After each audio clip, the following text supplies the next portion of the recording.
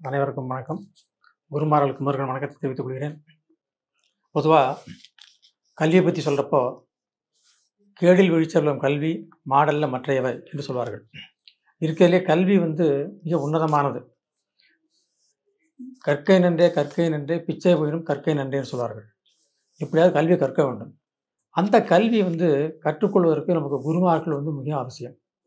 நம்முடைய ஐயா பௌர்ணமூர்த்தி ஐயா இருக்காங்களே அவங்களுக்கு முதன் முதல்ல நன்றி தெரிவிக்கிறேன் ஏன்னா ஜாதகம் அல்லது ஜோசியம் ஜோதிடம் என்பது வந்து பலதரப்பட்டது.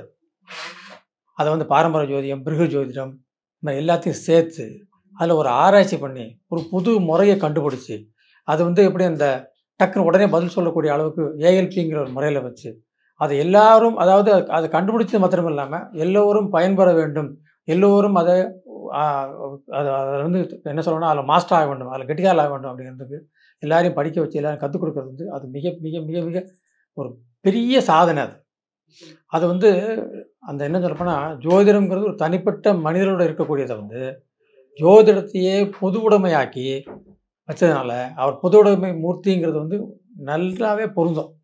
அவர் இந்த ஜா அந்த இந்த இன்னும் சொல்லப்போனால் ஜோதிட உலகில் இது ஒரு புரட்சி என்று சொன்னால் கூட மிக மிக ஆகாது இந்த இந்த ஏஎல்பியில் வந்து ரொம்ப சிம்பிளாகவும் பார்த்தோன்னே சொல்லக்கூடிய அளவுக்கு அந்த முறையை கண்டுபிடிச்ச எவ்வளோ தூரத்துக்கு ஒரு உழைப்பு அவர் இருக்கும் எவ்வளோ காலங்கள் செலவாயிருக்கும். பொதுவாக வந்து ஜோதிடம்னா காலத்தை சொல்லுவோம். எவ்வளோ காலங்கள் எவ்வளோ உழைப்போக்கு அப்புறம் அதை நினச்சோம்னா அது பிரமிப்பாகவே இருக்குது ஆனால் அவருக்கு எப்போவுமே நன்றியுடனாக இருக்க வேண்டும்.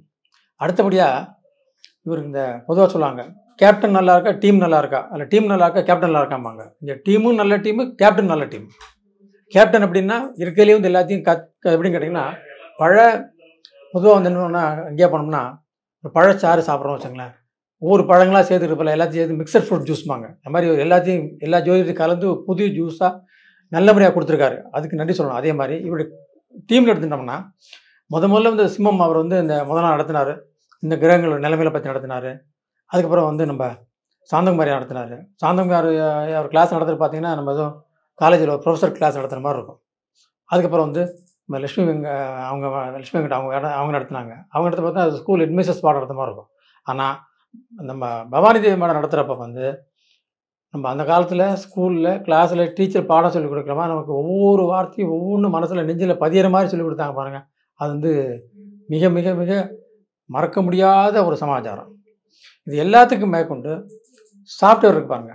இது சாஃப்ட்வேர் உங்கள் கொடுத்து சாஃப்ட்வேர் அப்படின்னு கேட்டிங்கன்னா பொதுவாக வந்து ஜா அந்த ஜாதகமோ இல்லை ஜோதிடமோ கணிக்கிறவங்க வந்து தசாபத்தி கணிக்கணும்னு சொன்னால் அது எவ்வளோ நேரம் ஆகும் இவ்வளோ கணக்காகும் தெரியும்.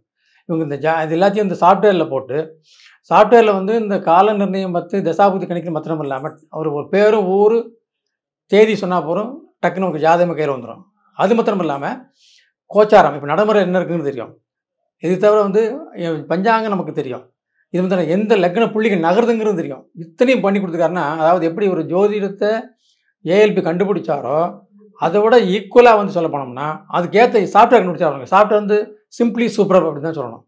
இந்த இந்த ஏஎல்பியில் வந்து படிக்கிறதுக்கு இந்த என்ன சொல்லலாம் ஒரு பா- பழைய பாட்டு சொல்லுவாங்க என்ன தவம் செய்தனே யசோதா அப்படின்னு க கண்ணனை பற்றி பாடுறப்போ சொல்லுவாங்க. மாதிரி நம்ம என்னமோ தவம் செய்திருந்தா தான் இந்த ஏஎல்பியில் வந்து நம்ம ஜாயின் பண்ண முடியும் ஏஎல்பியில் படிக்க முடியும்.